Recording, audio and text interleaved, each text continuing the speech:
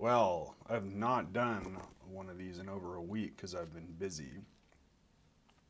And there was something that I had been thinking about talking about, which was technology versus packaging, but I'm not going to do that right yet.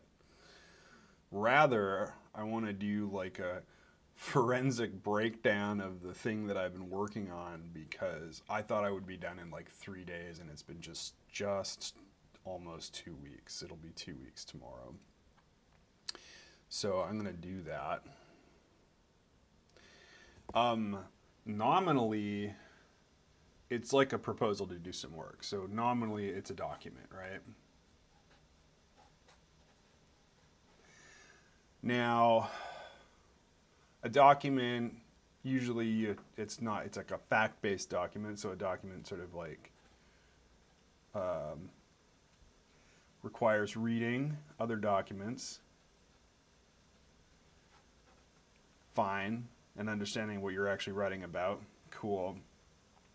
Now the thing that i wanted to do was a, sort of introduce a new style uh, for the what so because I want to basically demo the thing that I'm proposing, and um, so what I do is I put that on the web as a rule.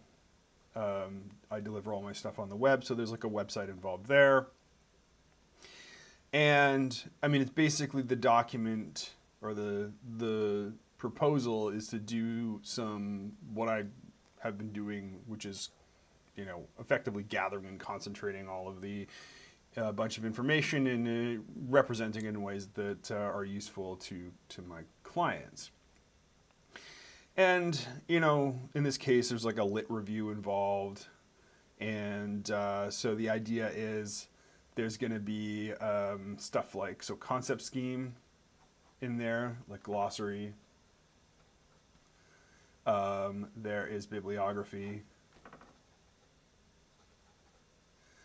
there is um, I do like a kind of a catalog of like orgs and people.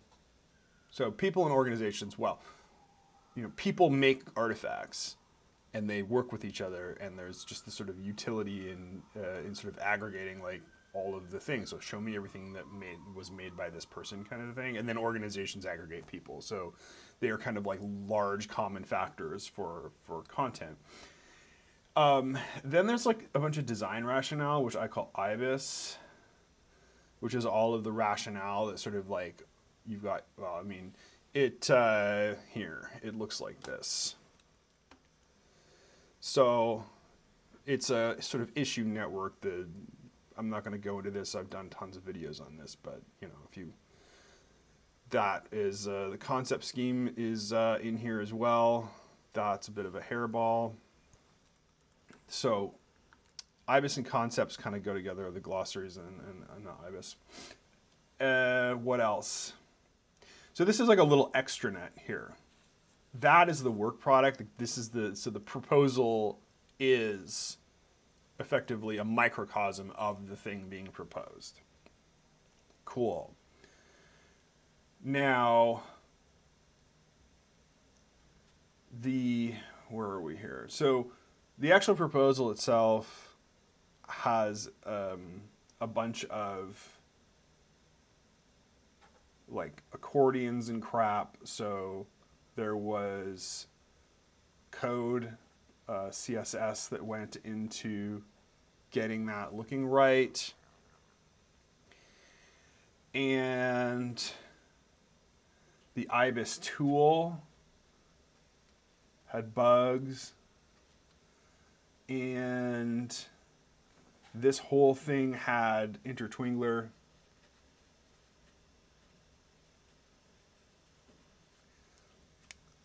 this needed code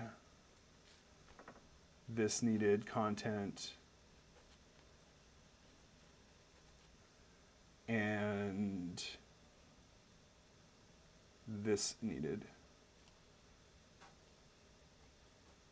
also to go into there. So like all of the every time the the text of the of the proposal makes like a claim or an argument or something like that, it's got to be annotated and linked to the IBIS tool. which again, I'm not showing you that because it's confidential. And what the hell else? There was like server crap that I had to do. And, uh, you know, so this is like nominally the job if, if you're just writing a document. And then like all this other stuff was crap that I had to do to make this go.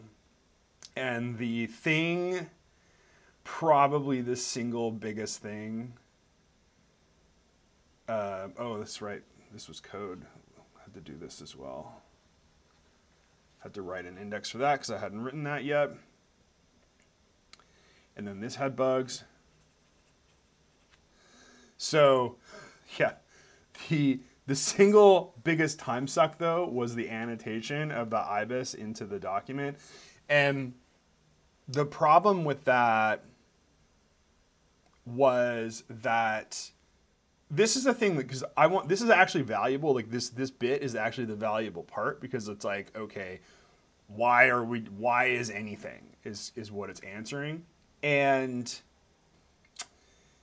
if you're gonna go write a document, you just write the text, right? You just you're making an argument in the document, and you go and you you know you write the argument out, and then you're done. If you start in the tool, you write a bunch of stuff, but it kind of occupies this space in a way that is it's harder to find. And what I've been finding was is like like if you did it all in here or did it all in here. If you did it all in here, you could transfer it to there, you'd be fine. If you did it all in here, you could transfer it to there and you'd be fine. But like doing it in kind of both, which is what you would do. This is the important aspect of it is is it's absolutely natural to kind of straddle both. But going through because it's like okay, I check the text because the text is the thing that's being delivered and I have to go into the tool, look to see if I had made the point in the tool, link that back into the document. If not, go here and write, you know, what the argument was. Make sure it's linked up to the rest of its neighbors, and then come back and go again. And I found that it could just crawls. Like it took me nine freaking hours or something like that, and I only got about halfway through. And the document itself is, I don't know, maybe 2,000 words. I like, I didn't check. I should check. But um, anyway, so this dumb little thing that was this part, you know, this part, uh, turned into, you know, this whole other thing. And uh, anyway, it uh, was a lot more than I bargained for. So yeah, anyway, I'm gonna finish my coffee.